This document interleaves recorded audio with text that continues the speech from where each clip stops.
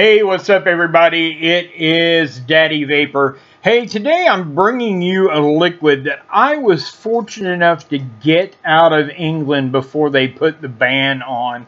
I ordered the little sampler pack of the 3 milligram nicotine uh, Just Custard line. And the one that I'm reviewing for you today is actually, they call it old school.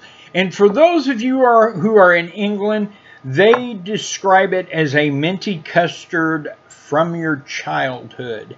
If you are in the United States and watching this review, it tastes just like an Andes mint that you would get from like um, the Olive Garden with your meal. They give you the little chocolate mint.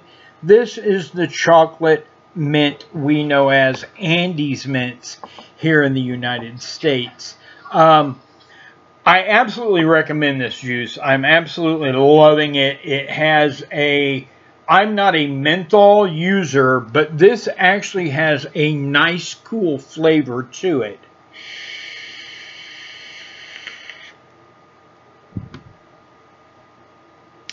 And you get that flavor whether you exhale through your nose or through your mouth. You're still getting the same flavors.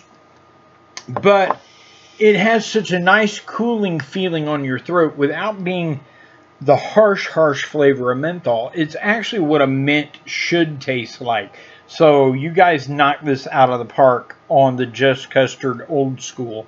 Um, would I recommend it? Yes, 100%. If you are in England, you can get it. If you're here in America, the way you actually have to buy this product is you can order a 50 mil size or a 100 mil size, but it doesn't have nicotine in it. So make sure you check. There is a section where you buy the nicotine separate, or if you have a nicotine at your home already, you can just use that. But yeah, I was fortunate enough to be able to get this the last day. I was going to order some bigger sizes, but I wanted to give it a shot first. And I recommend it 100%. I will definitely be trying to get this something again, or I will be looking for something that is very, very familiar. But yeah, this is Daddy Vapor. Don't forget, check out Just Custard. It is an awesome juice. I will be reviewing the other juices shortly.